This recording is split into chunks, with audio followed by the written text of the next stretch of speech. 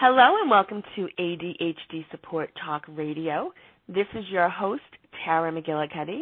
I'm an adult ADD productivity coach, and I am also the founder and director of ADDclasses.com. And at ADDclasses.com, we provide virtual support and education to people affected by ADD and ADHD. We offer free teleseminars each month. We have an extensive ADD audio library with more than 100 courses, and we also offer more in-depth support programs. And you can learn more about ADDclasses.com by going to the website www.addclasses.com. And I do have a bit of an announcement before we start talking on the show today. On April 22nd, we're going to be offering a free teleseminar. Linda Hillger, who is our guest today, is going to be hosting the free teleseminar, and the title is The Adult ADD Guide to Focus, Clarity, and Motivation. And again, that's April 22nd at 9 o'clock p.m. Eastern Daylight Time. And if for some reason you cannot make the live call, the live class, you will be able to listen to a free re- replay for two weeks, but you do need to register before the live call. And you can register at www.addclasses.com. And I would like to welcome back Linda Hillger to ADHD Support Talk Radio. In just a moment, Linda and I are going to be discuss- discussing clutter and the overwhelm associated with clutter when you have adult ADD or ADHD. So welcome back, Linda. Hey, welcome, Tara. Thank you so much for having me on today. This is great, and I really love the um, the topic that we're going to be talking about today because there's a lot of people that have questions about it. Yes, definitely. And you know, you're actually um, one of our first, the first guests I had on ADHD Support Talk Radio when I first started airing it back in 2008. And I know our listeners loved you, so I'm really glad that you've come back and really hope you'll be a regular guest again this year because people really connect with what you talk about. So thanks, Linda, so much for coming on. Before we get started talking about clutter and overwhelm, can you let our listeners know a bit about yourself? Who are you in relationship to helping people affected by ADD and ADHD? And also, how can they get in touch with you after the show has aired? Oh, how nice! Thank you. Um, well, I've an a professional organizer, and I specialize in helping people with ADD um, organize their home and work and all functions therein. And um, my, um, I guess I'm best known for ADD Boot Camp, which ADD classes hosts, and it's the running, the longest running class for adults with ADD that is internet internet based and that's quite a um, a cool thing. We've had thousands of people go through that over the years, and it's awesome. And I'm the author of the ADD Audio Coach, which is the test, textbook for ADD Boot Camp, and is a step-by-step program for uh, getting organized with um, ADD.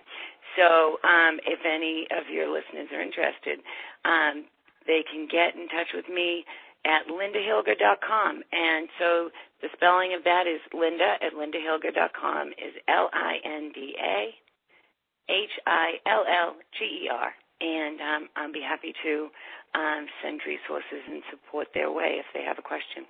So thank you. Great, thanks so much, Linda. Yeah, we we were going back and forth about you know what should we talk about in today's show. And One of the ideas that we um, came up with was clutter. And I said, yeah, you know, I haven't done a show about clutter in years. And that is actually one of the most listened to shows that I've done. So, you know, when you have ADD or ADHD, clutter can be a huge challenge. And you know, we were talking about how we are going to approach this, and I said, you know, I think, you know, there there may be more, but three main areas when it comes to clutter are three different main types of clutter that adults with ADHD deal with. Um, and the first one is the physical clutter, you know, the trash, the junk, the clothes.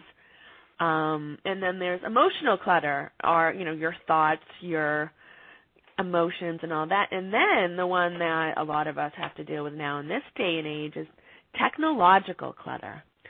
So, Linda, you know, where would you like to begin when it comes to talking about clutter? Isn't it?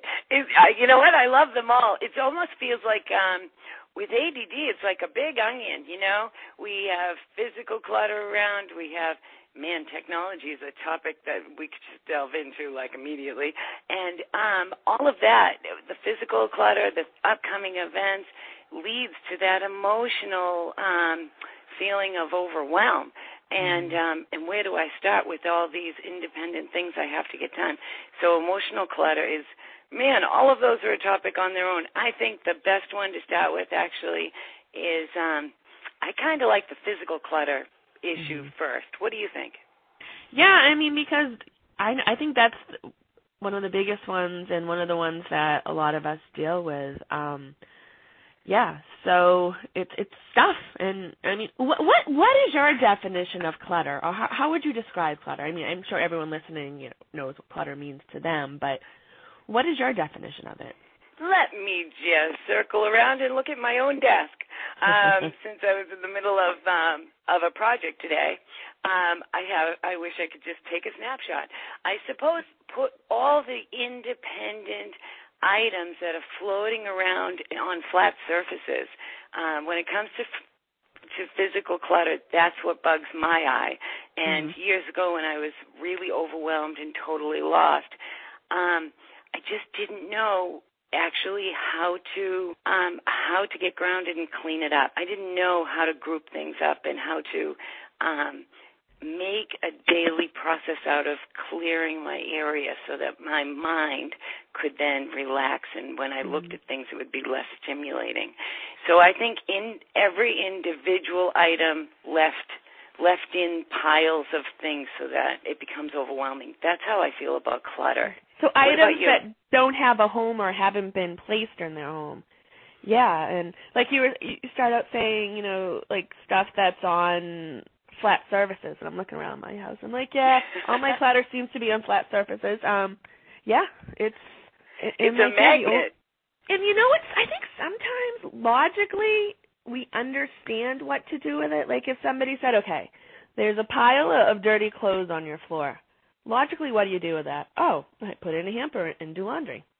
But I, I think part of it is we got we our mind was in other places because we have mind clutter. There's another type of clutter than emotional clutter, and you know we weren't focusing on okay the dirty clothes goes in the hamper, and then I know I see a pile. I'm like, oh, I have a pile of dirty clothes on my floor. That's where my other dirty clothes is going. I don't think I logically think that. I don't know if that becomes like an actual. I don't go through the thought process, but my mind automatically puts it there, and then yeah, the piles grow and it becomes. I think you use the word it stimulates the brain, and it just. I think it overwhelms and can shut down the brain.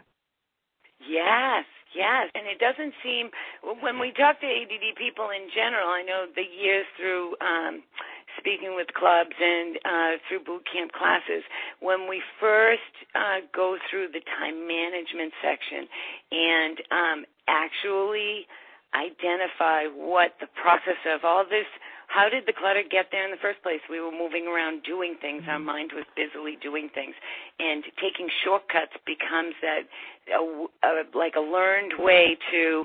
I'll just put it here and I'll come back to it. I'll just come mm-hmm. put it here, and I suppose from my point of view, when I think of growing up with ADD, and for me, I was dyslexic as well initially when I only had a few things like school work or maybe um clothing that I had to manage in my bedroom um as as an early adult, I used to leave things out so I would remember them. Mhm. Um and then I and then life got busy. You know, I started doing work and I started having bills, so I started leaving bills out. I started leaving paperwork out on top of the piles from laundry or on top of the piles for uh, things I wanted to remember for fun or hobbies. And um, and what initially worked when I left things out, I remembered it. So that was mm-hmm. great when I only yeah. had two or three things. What happened to my life and what I hear people saying is that in adult in the adult world we take on a whole lot really fast. Life yeah. gets busy. So pretty soon the the idea of leaving piles out to remember to do it backfires. Uh-huh. And pretty soon we have 50 piles. Or, you know, we have a whole library of magazines or newspapers that eventually we're, we're leaving it out by the, by the couch thinking we want to read it, but eventually mm-hmm. we're looking and it feels stressful because there's 15 of them. Yeah, because originally we'll start with the out of sight, out of mind thing, where we're not putting it away, we're keeping it on the open, you know, because that's how a lot of us, you know, process better is when we see it. But what happens is it gets covered up with the rest of the clutter and the stuff. So the thing we were trying to do in the first place doesn't work anymore. Yes, yes. And I think yeah. all of that physical, the physical wanting to get to things really comes down to creating uh, standard windows of time to get to those things or yeah. windows of time to clear it away um, escape from it if if a if a person is feeling really emotionally overwhelmed or emotionally like they have a ton of things coming up or things that they have to think through because you know you said an interesting thing earlier you mentioned um when you go to do something just wanting to do the whole thing and not thinking out the little steps. So a lot of times I think when in my head, when I think of a big process, my head just wants to go there and do it. But then when I start doing it, I realize, oh my God, I'm missing this. Where is this? And I have to go find it, particularly technology. I have to go find, I have to go learn the software to mm-hmm. do the thing. And it stops me in the middle of my projects. Yep. And so I leave it out. I used to leave it out so that I'd remember to go back once I learned yeah. it or once I gathered the information. And that just made another pile and it goes into physical clutter. Yeah, and that's that? another distraction too when you're getting up from your office to go to the kitchen and get a cup of coffee. You get distracted by the clutter that's on your kitchen table or wherever it is. And you know, sometimes you'll, you know, get lost on the way to getting a cup of coffee that's, you know, ten feet away so that's like another issue that we have with that clutter. You know, first we're overwhelmed because we didn't put it away, we can't find stuff. Then we're overwhelmed by the fact that it's there and it's too overwhelming to make a dent and then it, distracts us. So there's it's amazing it's really thinking about that the clutter and we're just on the physical clutter, like how much how much how many challenges and issues it can really cause us. Yes, I so agree.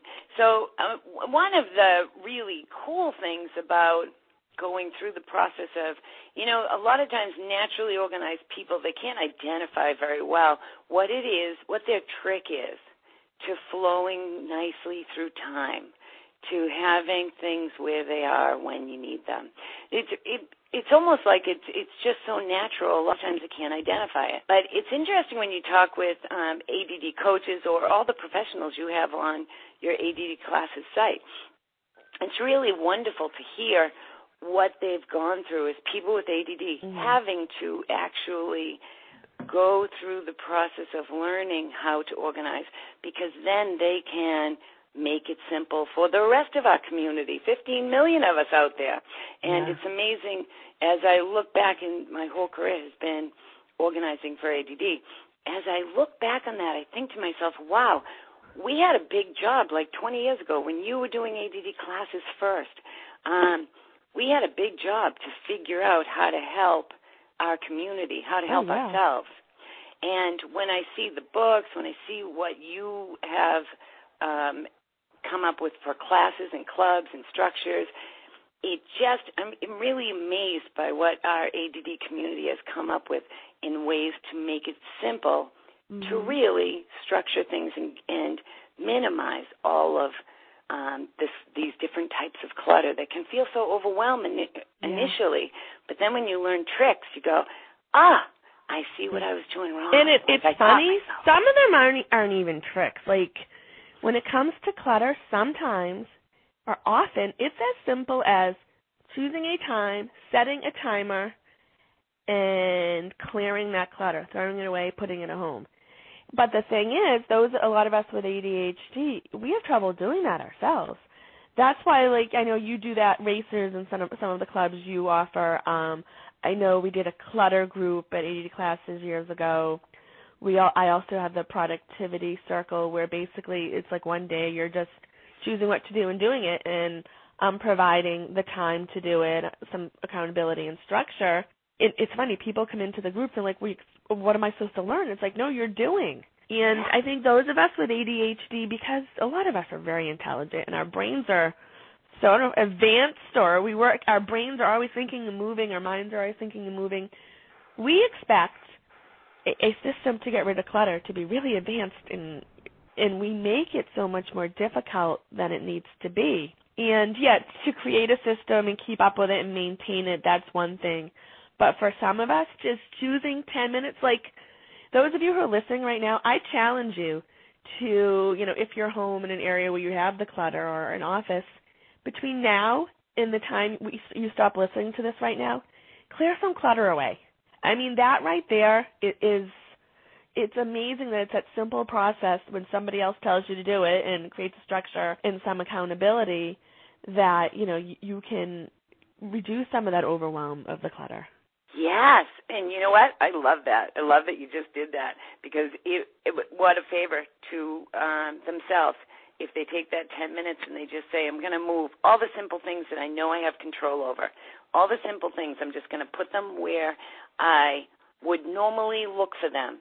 You know, um, we we get bogged down by, oh well, where is? Should it go? And yeah. to make it simple, it's where would you go if you needed it? Yeah. And right, the association effect of here's where I put all my magazines, here's where I put my salt and pepper. My head knows where it goes, and when I need it, I'm looking right here to get it. Uh, one of the things that I find the easiest to show people is like the milk.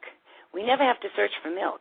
It's mm-hmm. never like frustrating. We're never out in the yard wondering, well, you know, where al- almost I... never. Some of us almost might. never. Most right. put, might put it back in the freezer or a cupboard by mistake, but yeah, it's yeah. right. We learn by we have learned most of us have learned that wow, if we leave that out, it's gonna go sour. Then it's a drag. We have to go get mm-hmm. some more. I can't take a shortcut with milk. I might as well just use it and put it right back. And it becomes this invisible, easy item. It's just mm-hmm. one item among what a house has a, has about 10,000 items in the average house. So that's that's a lot to maintain if you're a person with ADD, particularly mm-hmm. if you also have a work environment to maintain.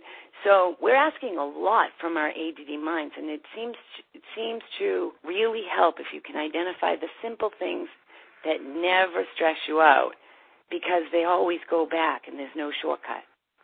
Mm-hmm. You know, for our listeners today, if if you find that that's true about milk, you can keep repeating the system and make it um, really pay off for other items.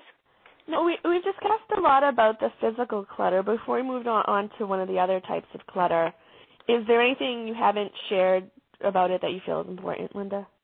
Mm, in the boot camp class or in the audio coach, we talk about the quick clean system, which is a system actually it's the fastest, easiest way to walk into a room, get through it, to clean up the clutter, clean up the clutter and group everything up and and finish the room.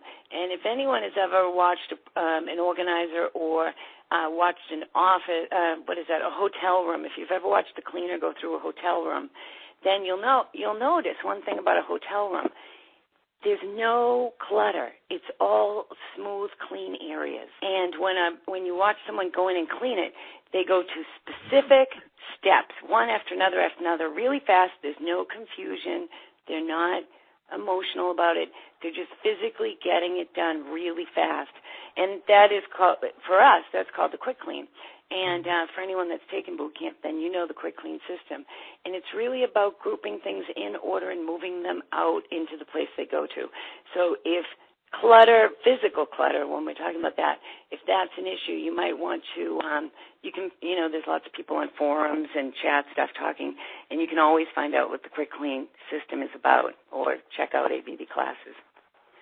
Um, and that's, that's good because really you know shortcut. some people do need that system to it benefit from having a system to follow. Um, Rather so, than just making it up every single time, you know. Yeah, reinventing the wheel, which makes us crazy, and we get frustrated and move on to something else, and our clutter just gets worse. And that brings us to emotional, right? The frustration. Yeah. Thank you for listening to our discussion about adult ADD, ADHD, and clutter. And Linda will be returning next week to finish this discussion. In the meantime, don't forget to sign up for Linda's free ADDclasses.com teleseminar, the Adult ADD ADHD Guide to Focus, Clarity, and Motivation. And this free teleseminar takes place on Tuesday, April 22nd from 9 o'clock p.m. to 10 o'clock p.m. Eastern Time. And if you can't make the live event, you can sign up for free and be able to, and you'll be able to listen to a recording for up to one week. Again, that's addclasses.com. You can sign up for the free teleseminar, and I look forward to being with you next week on ADHD Support Talk Radio. And this is your host, Tara McGillicuddy. And if you are listening to us on iTunes or Stitcher, you can find out more about me and the show by going to adhdsupporttalk.com.